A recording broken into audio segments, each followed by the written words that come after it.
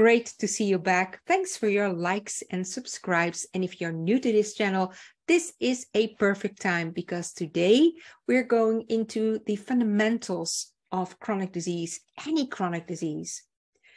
When people get a diagnosis of a chronic disease, usually the first thing that they ask themselves is, why did this happen to me? Why do I get this and why now?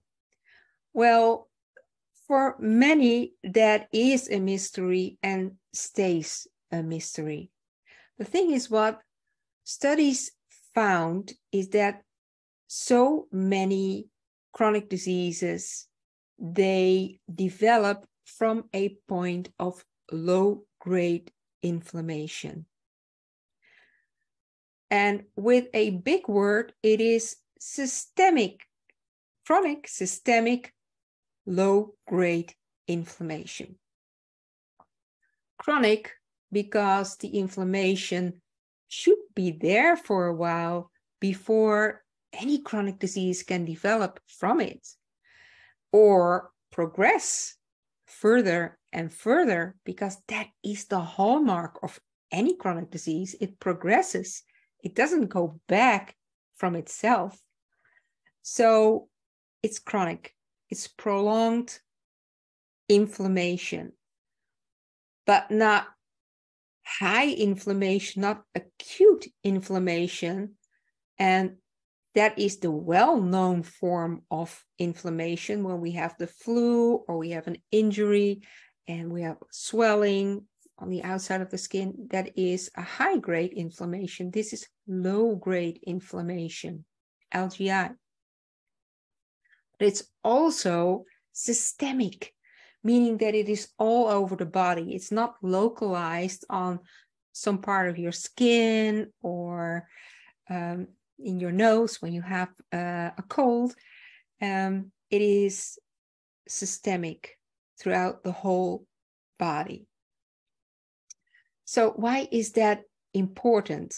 Well, because we know that when there is a form of inflammation, low grade or high grade, then the body senses that something is off, something needs to be, be uh, fought off. So there is some kind of a threat, a threat that is threatening survival, that is threatening thriving. So, our basic system is to survive, to thrive and survive. And anything that can be threatening to death, well, that jeopardizes our existence. So then, low grade inflammation or high grade inflammation comes into play, which is, of course, a good thing. But if we know that low grade inflammation, for us now, it is chronic systemic low grade inflammation, but I refer to it as low grade inflammation.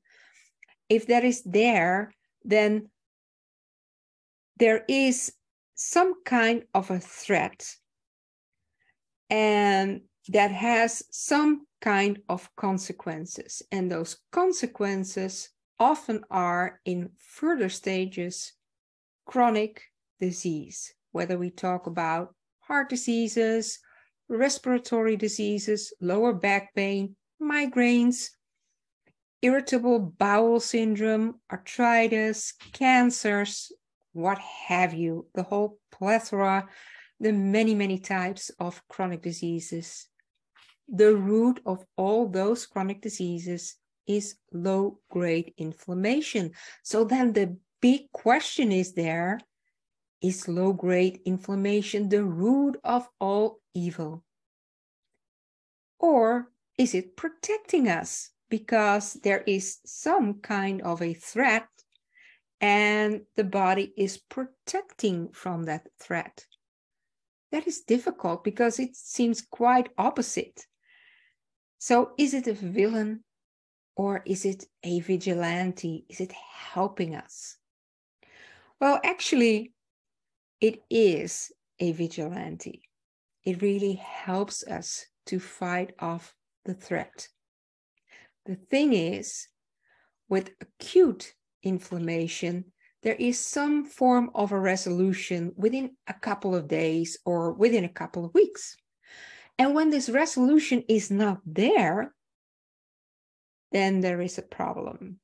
Because after a couple of weeks, the side effects of fighting off that threat is very damaging to the body.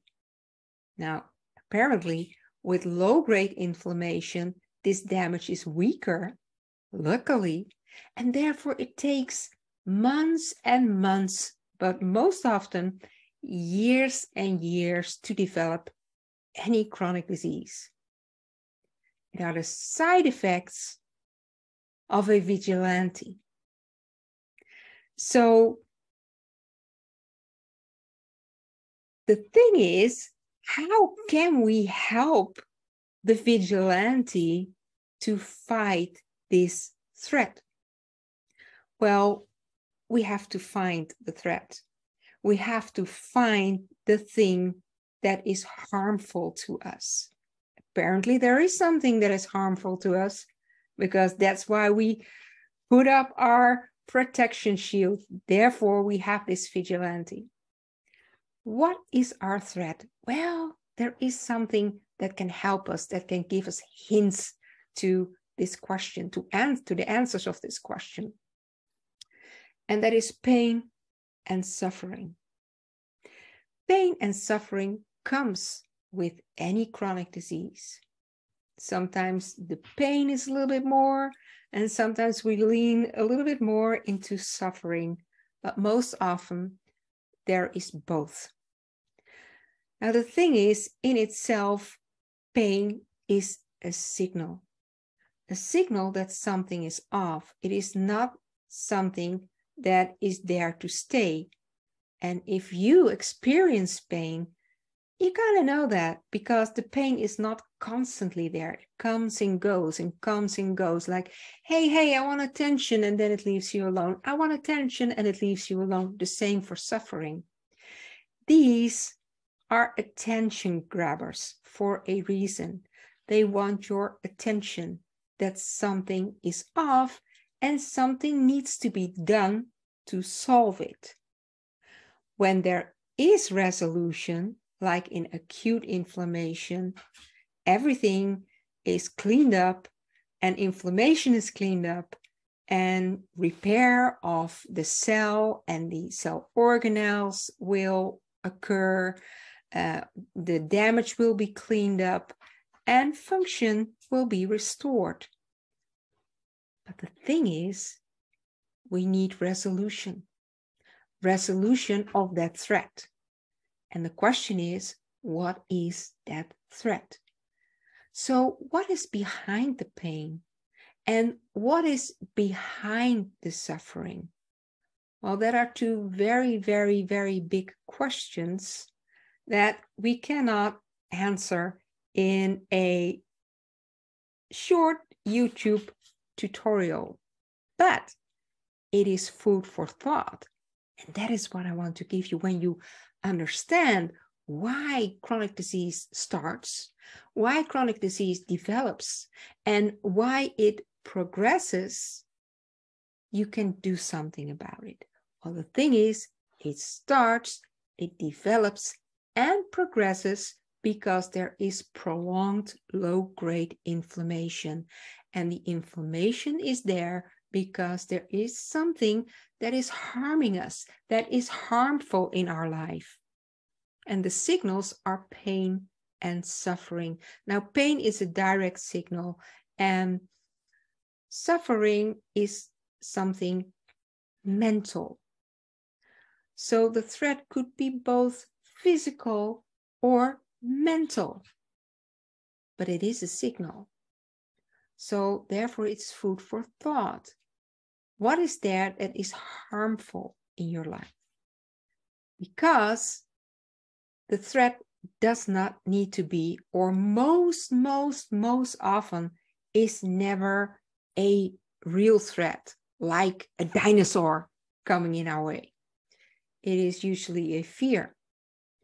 Um, a fear of not being good enough, a fear of something that is going to happen in the future, worry, rumination about the past, rumination about past events, maybe even past trauma.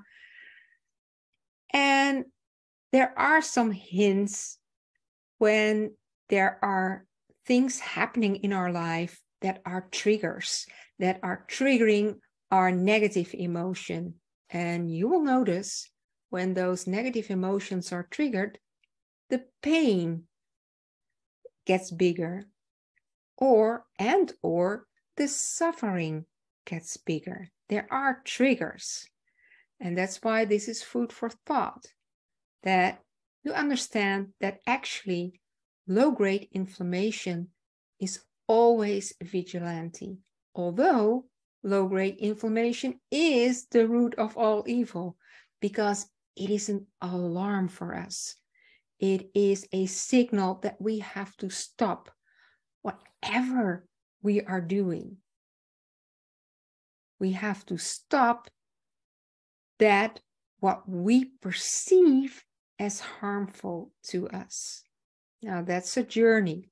And therefore, reversing chronic disease is a journey. It's a journey of personal growth to find what things in our life are harmful, unwanted, in the way of fulfilling our desires. They are blocking our path for something. So there is a lot how we can feed low grade inflammation. So that is also something that we can stop, like foods, like alcohol, like cigarettes.